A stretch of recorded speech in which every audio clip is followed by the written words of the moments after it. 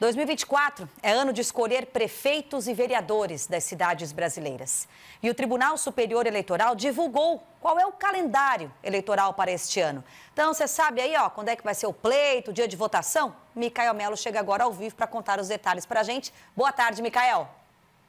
Boa tarde, Sabrina. Boa tarde para você que está acompanhando o Balanço Geral nessa quinta-feira. Então, Sabrina, tem várias datas que a gente vai especificar um pouco isso para você que está nos assistindo. Então, as eleições, o primeiro turno, pelo menos, Sabrina, acontece no dia 6 de outubro. Essa é a data que está agendada para as eleições aqui em Joinville, em todas as cidades da região e no Brasil inteiro. 6 de outubro dá para você marcar aí na sua agenda.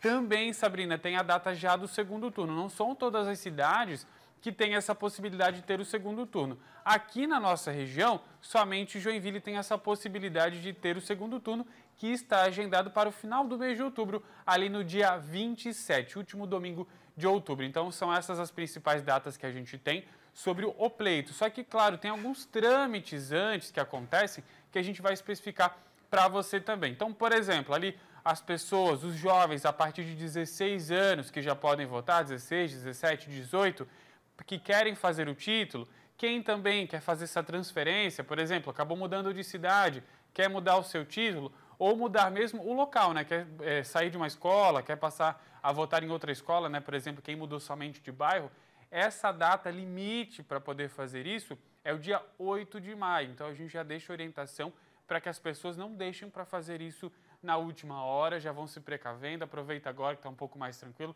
você já pode fazer esse processo então.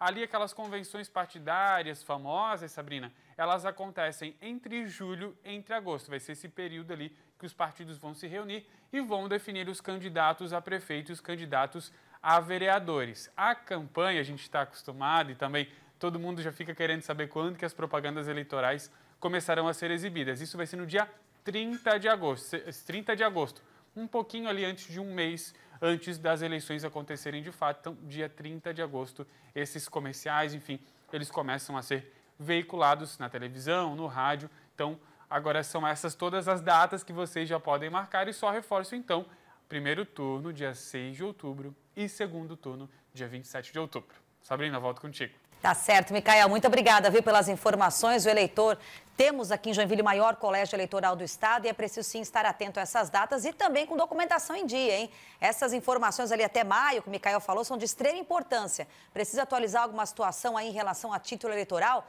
Aproveita agora, é começo de ano, né? entre metas, algo a fazer, algo a fazer, pode colocar aí também, cumprir esse agendamento para legalizar, colocar tudo certinho dentro da justiça eleitoral. Porque também não estando dentro de prazos tudo certinho, isso traz muitas vezes uma situação complicada, envolve CPF, às vezes é um concurso público que passa, uma faculdade vai fazer, tem que ter toda essa quitação eleitoral. Então é importante manter em dia.